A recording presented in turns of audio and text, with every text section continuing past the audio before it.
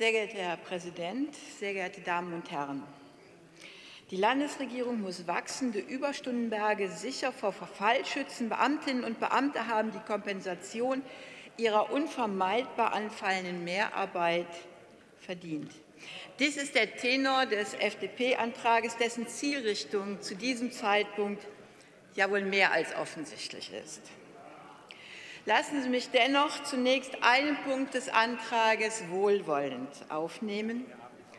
Unser Dank muss allen Beschäftigten in Nordrhein-Westfalen gelten im öffentlichen Dienst. Wir verdanken Ihrem persönlichen Einsatz, Ihrem Engagement und Ihrer Tatkraft, dass der Staat überhaupt funktioniert. Wir Grüne schätzen Ihre Arbeit und das nicht nur zu Wahlkampfzeiten. Und das haben wir auch gezeigt.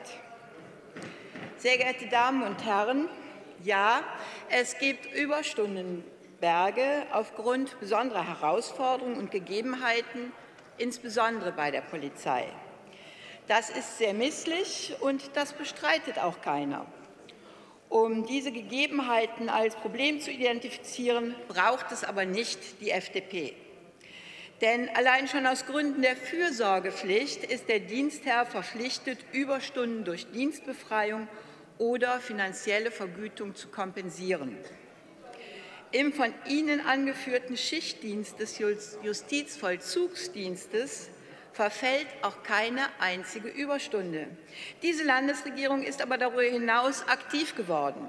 So verzichtet das Land bis zum 31.12.2020 im Polizeibereich auf eine Verjährung der Mehrarbeitsstunden.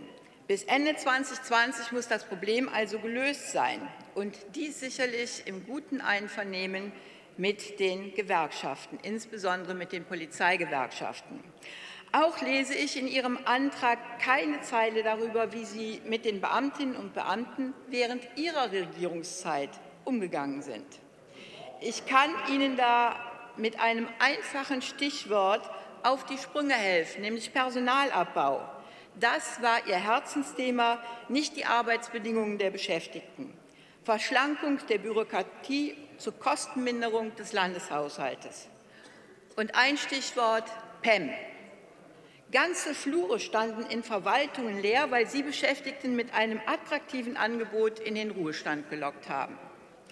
Sie haben allein in Ihrer Regierungszeit bei der Polizei die Stellen von 40.059 im Jahr 2005 auf 39.593 Stellen in 2010 reduziert. Also spielen sich hier nicht als der Retter auf.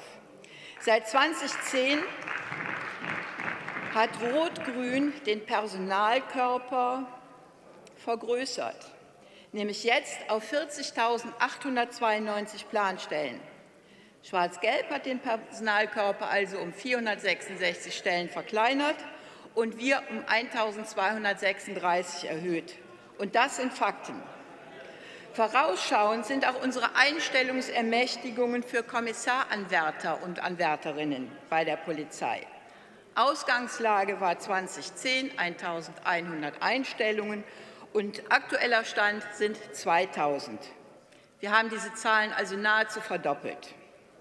Nach Abschluss der Ausbildung tragen auch diese dazu bei, Überstundenberge nicht weiter wachsen zu lassen. Und ich mag mir gar nicht vorstellen, in welcher Situation wir uns jetzt befinden, hätte Schwarz-Gelb weiter regiert. Und ich bin mir sicher, die Beschäftigten des Landes wünschen sich die Zeiten zwischen 2005 und 2010 nicht zurück, wenn sie vergleichen, was Rot-Grün hier auf den Weg gebracht hat und geschafft hat. Und diesen Weg werden wir fortsetzen. Danke schön für Ihre Aufmerksamkeit.